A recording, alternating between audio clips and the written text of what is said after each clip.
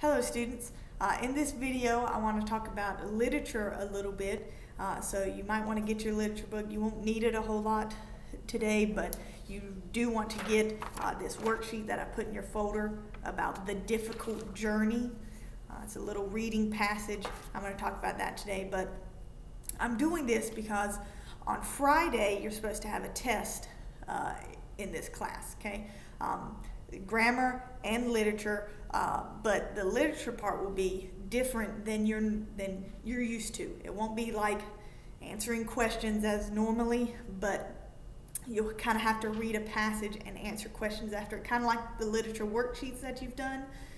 But uh, I think this will be good. Be, it'll be simpler, uh, but it'll be a little bit more thought provoking. You'll have to do a little bit more work as far as reading, um, but I think it'll be good uh, two reasons.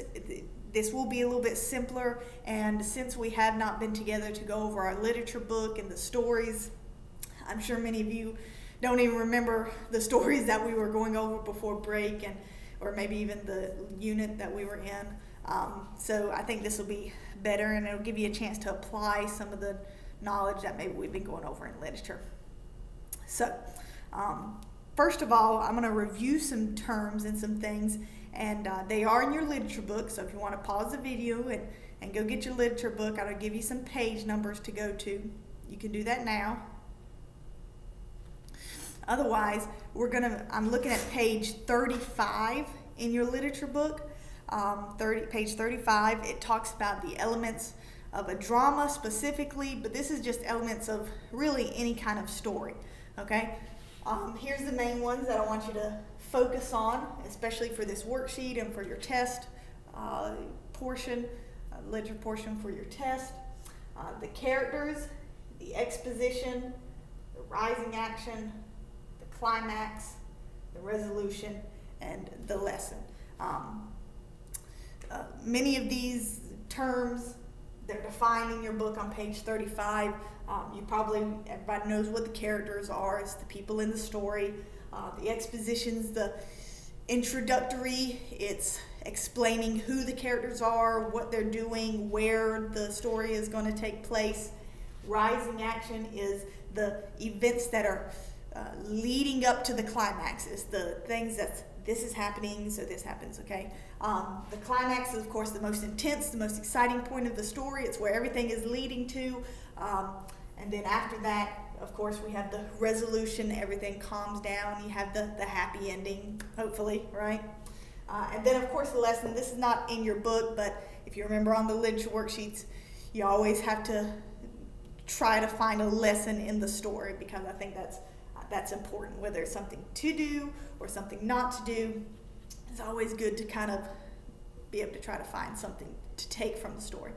So just kind of to review these, these aspects really quick, uh, I want to talk about uh, one of the famous stories I think that everybody will remember, the story on page 211. If you want to jump to that page in your literature book, you can real quick. Page 211, the million pound banknote. Okay, I think hopefully most people at least remember the title or maybe some of the characters. Uh, so that's first, just to review these different elements of a story.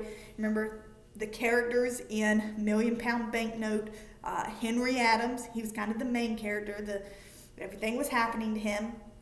Lloyd Hastings, if I remember what he did, he was Henry Adams' friend, and um, that's basically it.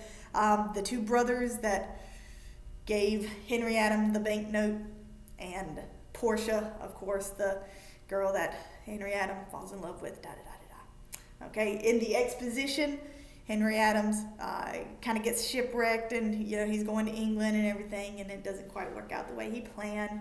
And that leads to the inciting force which is not on the board it's not something you have to know but the inciting force is when the brothers give him the banknote okay? And after they give him the banknote uh, it goes into the rising action. Everything he's in England and he's uh, putting everything on credit and he's going to the stores and everybody's treating him nice because he has the million pound banknote. Okay, uh, and of course he meets Portia and he meets Lloyd Hastings again. So a lot of stuff's happening. Rising action is kind of one of the biggest parts of the story, but it all leads to the climax of the story. Okay, and the million pound banknote, if I remember what part that was. It's kind of in the book. It says it's when Portia reveals that she's um, one of the brothers, I think stepdaughters is what it was, and so. But in the resolution, they get married, live happily ever after. Yay! And uh, a lesson you can, you know, just kind of think about whatever you thought that was. Um, but that's basically what I'm looking for, okay? And so what I want you to do now is I want you to get your the difficult journey. Make sure you have that in front of you so that we can talk about this together. Now, I'm going to ask you all to pause the video right now and read this little passage real quick, okay? It's not even a full page, and I don't want you to go any further in this video until you have paused it, taken like two minutes, and read the story. So go ahead and do that. Okay. If you've unpaused it, I'm sure there's still some people that did not pause the video to read the passage. So, those of you that did not listen the first time, I want you to pause the video right now and read the passage, okay? It is not hard, it's not long, and you're not going to be able to understand what I'm talking about if you haven't read the passage. So, second chance, pause the video and read the passage. All right, one more time. If there is anybody that still has not read this passage, pause it, read it. Otherwise, we're moving on. Okay, by the way, thank you to everyone that did actually read it the first time I asked. All right, here we go. I'm not going to read the whole story. I'm just going to talk about these elements, okay? And so you can kind of follow along. If you've read the story and you're looking down there at question one, list the main characters, okay? Uh, you can probably go ahead and write them down in the in the blank down there if you know what they are. The person that this story is about isn't exactly named, um, so you can call him the narrator, uh, the person traveling on on the on the trail, um, however you want to say it. Um, his family, uh, the people traveling with him. Uh, but just so you can kind of somehow define who it is, I would just say the narrator. He is the, the main character, the person that it is talking about. That one's easy, hopefully. Number two, what is specifically happening in the exposition? So I don't want you to write down there the main character is being introduced, okay? Or something vague like that. It says specifically.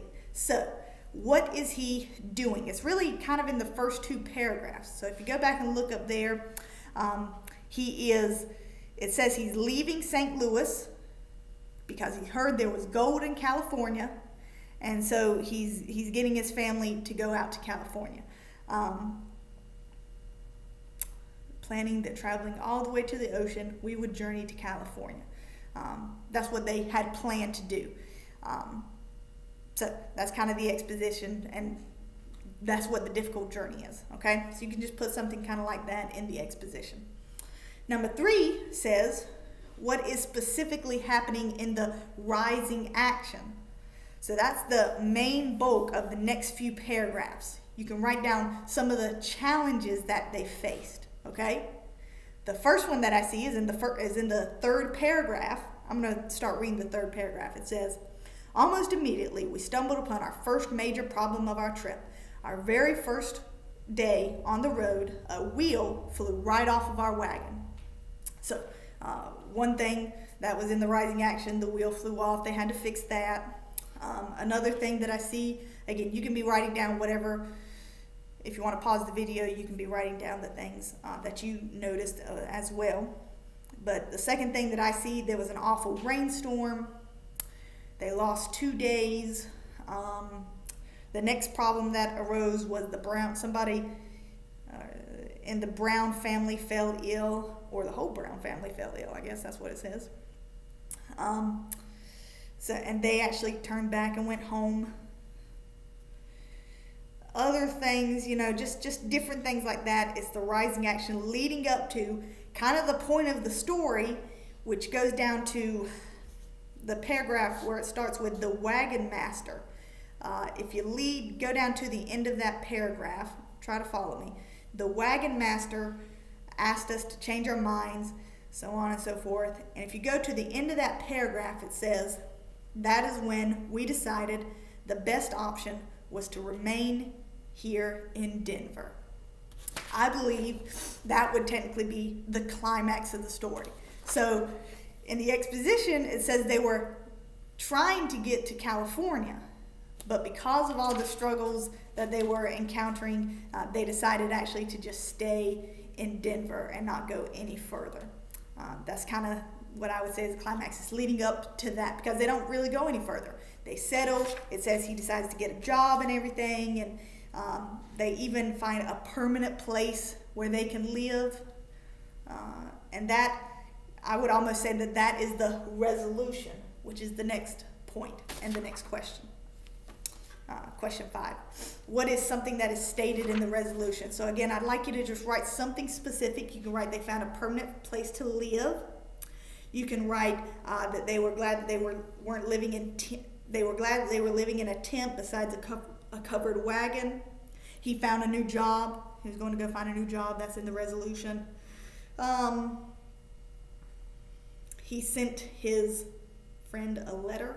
Yeah, he wrote a letter to his friend all of that's just kind of settling the story down. There's no more to be told.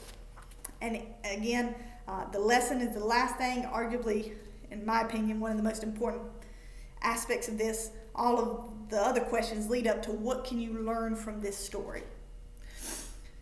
He didn't make it to his goal, right? So what did he learn? Just in the in the travel, in the journey, uh, stopping instead of going all the way to California? What can we learn from him and this, this story as a whole? I'm not going to give you that answer, but I would like you to write, write it on the board, on the thread in RenWeb, what you think a lesson is that we can learn from this simple story. Um, hopefully that was clear. Um, hopefully the story was easy to read and easy to understand and the questions as well. Uh, this is basically what I want you to do on your test on Friday when you take it. Um, so please let me know if you have questions. Let me know if you just don't understand one part of, of the story elements so that I can um, be more clear about it. Um, but if you can define and explain, that's what I'm looking for you to be able to do, explain these elements as they relate to a story, then you will do just fine and it'll be really easy. Okay? Let me know if you have questions, and um, I look forward to reading your lessons from the difficult journey.